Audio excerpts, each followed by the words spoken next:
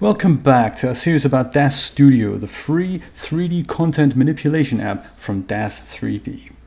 I was talking about installing content in one of my earlier videos and I forgot to mention that there is something that you can do if you organize your content into several subfolders. I've discussed this recently with a friend of mine and he was saying isn't there a way that I can ask Install Manager to put my content somewhere else. So for example you may have Genesis Generation 1 content and you want that in one folder and you want Genesis Generation 2 content in another folder. Or maybe you have an external hard drive that now that your computer is running out of space, you want to migrate content to, and perhaps you want to uninstall content from your local hard drive and want to reinstall content on an external hard drive. Well, that is possible with Install Manager, and here's how this works. There's something we haven't quite discussed about Install Manager, and that is a little tick box at the very bottom here that says Show Details. If you do that, then a little window opens up, and that's true for all these tabs. So no matter which tab you're in, they all have this little disclosure triangle. If you if you open that, then you can see more options down here. And especially in uh, the installed tab, you can see where what content is installed. So if you click on one product in particular, you get a bit of an um, expanded view of what's going on here. So in this case, the 3D Universe Toon mouse has a file list that I can bring up. If I click on that, then I can see what files were shipped with that product and I can have a look where they are and, and uh, have a look exactly where that is and do something with them. This also gives me the path to where they are installed. So the content is currently installed in users shared my DAZ 3D library and that's on a Mac. On Windows it's a similar folder but this is on a Mac so this is why that shows me where that is.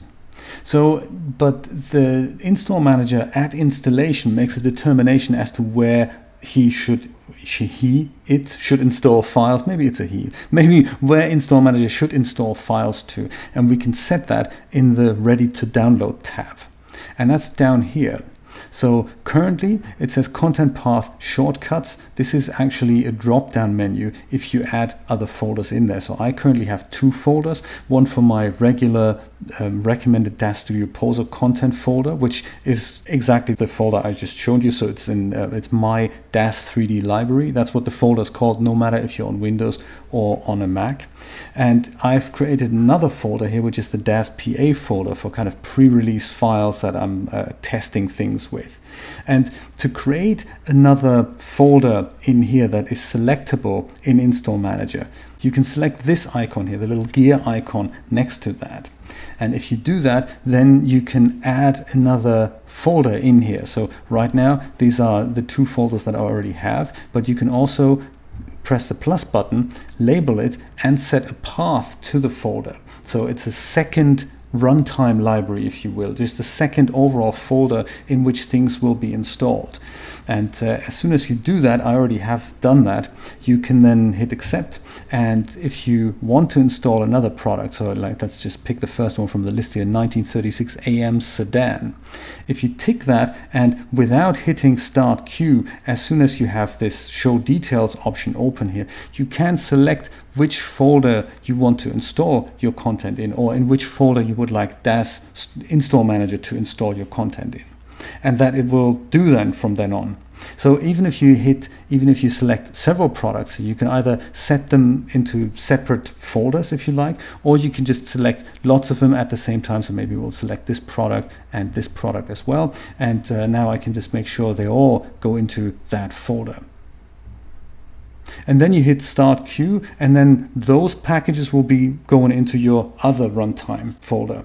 And in DAZ Studio, it's kind of a similar way to do it, in which you need to tell DAZ Studio, hey, there's another runtime library in which my content resides. So you do that here. There's several options to do that actually. There's either on the content library, which is down here. There's this little disclosure triangle uh, up here, this little context menu. If you head over there, then there's an option to edit your content preferences and there's the content directory manager. So if you click that, then you get to this dialog in which you can then say where are my DAZ Studio formats and where are my Poser formats.